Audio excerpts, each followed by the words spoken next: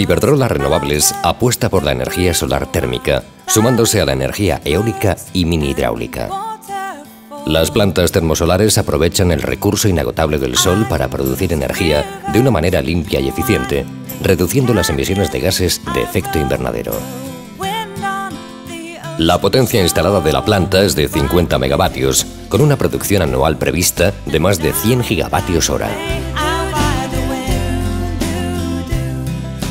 El funcionamiento de una planta solar termoeléctrica está basado en la concentración de la radiación solar directa para calentamiento de un fluido térmico que circula por un campo solar, cuyo calor es cedido a un ciclo cerrado de agua-vapor, con el fin de generar energía eléctrica. El campo solar de Puerto Llano está dividido en tres sectores compuestos por un total de 88 lazos de colectores cilindro parabólicos. Cada lazo de colectores se compone de cuatro colectores de unos 150 metros de longitud conectados en serie. Dichos colectores constan de una estructura metálica que soporta los espejos reflectores que forman una parábola en cuyo foco se concentra la radiación solar. En la línea focal de la parábola se coloca un conjunto de tubos absorbedores por cuyo interior circula un aceite térmico que es calentado por el efecto de la radiación solar hasta aproximadamente 400 grados centígrados.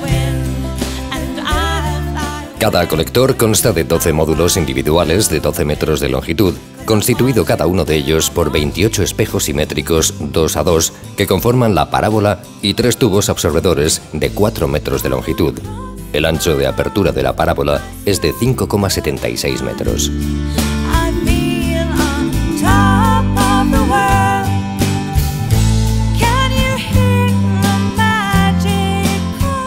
El tubo absorbedor está compuesto por un tubo de acero recubierto por una capa absorbedora y otro tubo de vidrio concéntrico, entre los cuales se ha hecho el vacío para evitar la pérdida de calor.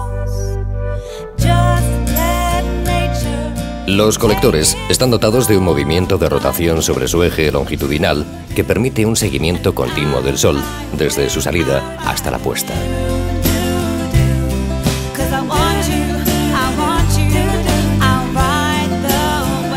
En el campo solar se calienta el aceite térmico y tras ser recogido en un colector común y conducido hacia la isla de potencia, su calor es aprovechado para producir vapor en el generador de vapor.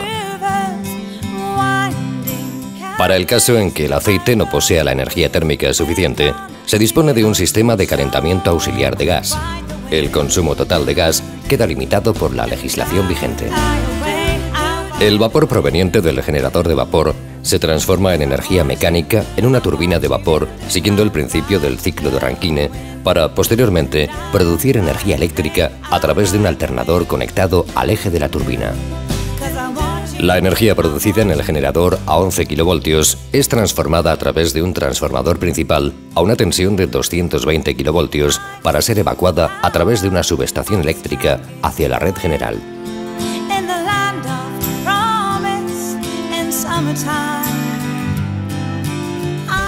La planta termosolar de Puerto Llano produce la energía eléctrica necesaria para el abastecimiento del consumo de una población de unas 100.000 personas durante un año. Del mismo modo, supone la reducción de cerca de 90.000 toneladas de CO2, fomentando el desarrollo sostenible del planeta.